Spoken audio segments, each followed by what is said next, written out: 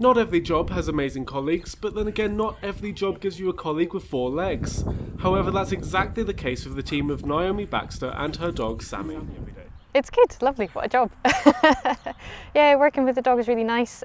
Everything's got to be fun, you know, everything's a game to him. He doesn't know how important his job is, um, so. Although Sammy might not realise it, his job is essential for making sure that the natural wildlife of the South Georgia Islands isn't disturbed by foreign pests. South Georgia is now completely rodent free and is aiming to stay that way with the help of Naomi and Sammy. Um, so with Sammy, I'm going to go on the vessels that are bound for South Georgia to um, check for any rats or mice that are on the vessels um, because we don't want any rodents going to South Georgia now that it's been uh, cleared of rodents. Um, so our job is to just be an extra layer of biosecurity checking to make sure that um, there's no rodents on the vessels.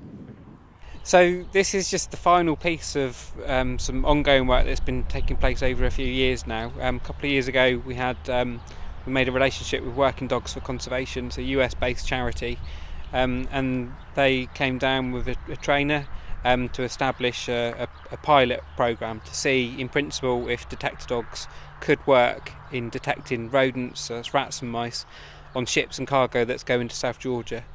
Um, and the pilot and the subsequent trial um, worked really well. We had great success with it. Um, and this is the third season now, the start of the third season.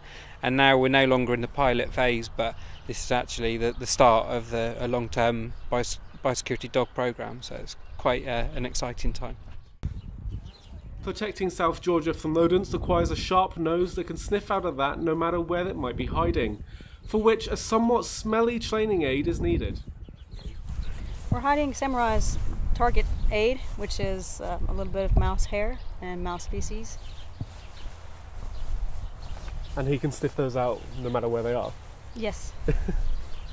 and why is it specifically mouse feces and hair?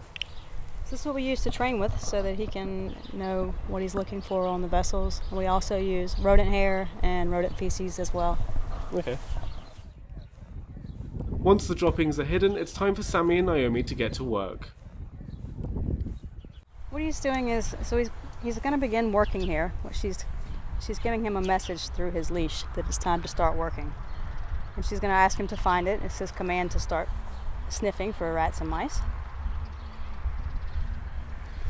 Naomi's job is to learn Samurai's behavior, so she knows any differences in his breathing and body language, and then that's his indication.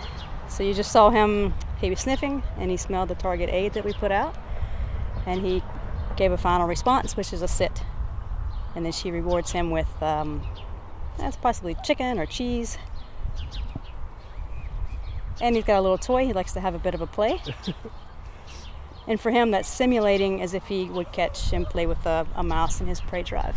Yeah. But it's not actually a mouse; it's a toy. Naomi and Sammy now have their work cut out for them defending South Georgia against any unwanted invaders.